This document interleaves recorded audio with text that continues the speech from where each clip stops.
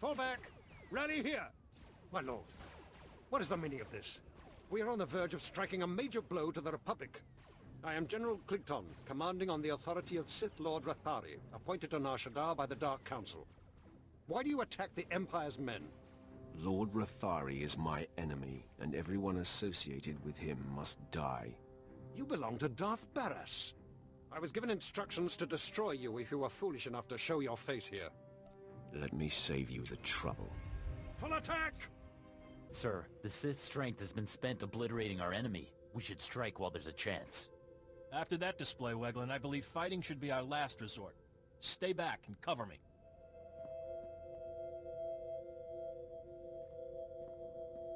Sith, I am Commander Nolan.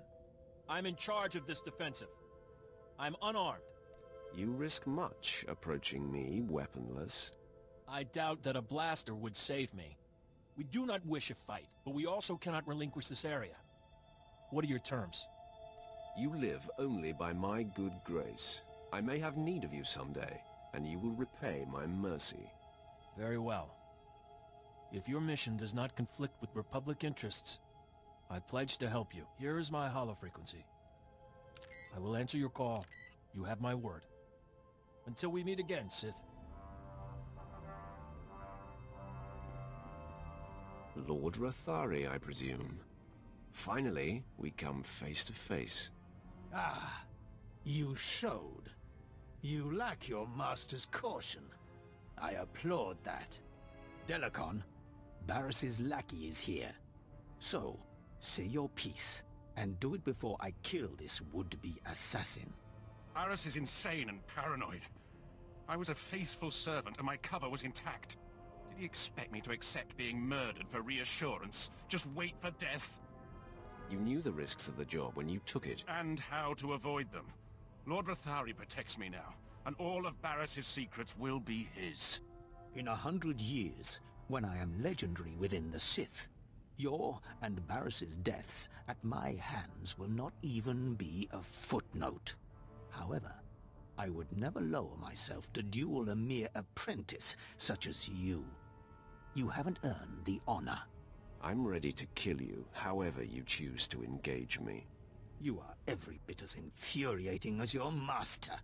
These men are my elite guard, trained to take on Sith. Half of them could kill you, but I don't like to play favorites. Your men are going to be a little busy with my men. That's the signal, men! Let's go!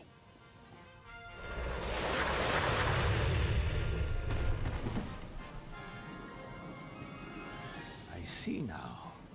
I've underestimated your resourcefulness. Men, make quick work of these Republic fools. Attack!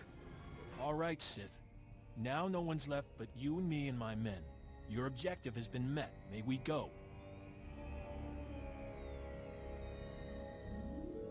Your men can go, but your days are over.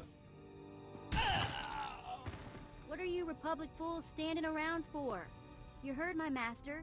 Get out of here. Men, the commander would want us to persevere. Let's move out.